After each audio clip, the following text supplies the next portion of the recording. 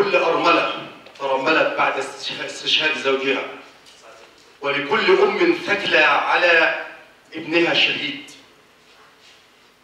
ولتراب هذا الوطن الغالي علينا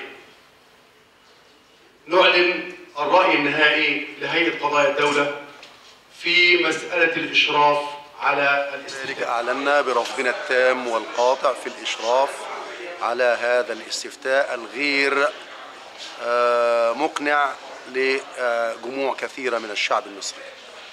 فلن نشرف إلا على استفتاء أو على مشروع دستور يرضي جميع أطياف الشعب المصري. ونحن حينما نشرف نشرف في المقام الأول باعتباره واجب وطني سيعود بالنفع على الوطن كله.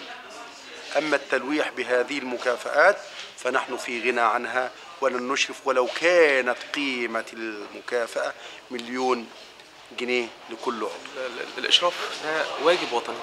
واجب وطني بس يجي في محله في الوقت المناسب. الوقت المناسب إمتى؟ لما يكون الشعب ما فيش حالة انقسام ما فيش حالة من حالات القتل في الشوارع.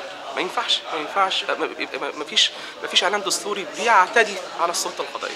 ده الاستفتاء اللي هو الواجب الوطني إنما الاستفتاء في ظل تقاتل المصريين بعضهم البعض الاستفتاء في ظل إعلان دستوري يعتدي على السلطة القضائيه لا يجوز.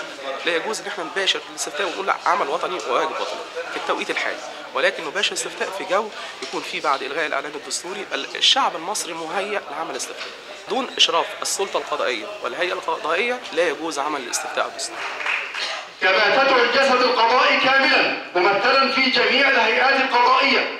لعقد جمعية عمومية مشتركة للخروج بورقة عمل تبحث سبل الخروج من الأزمة الحالية.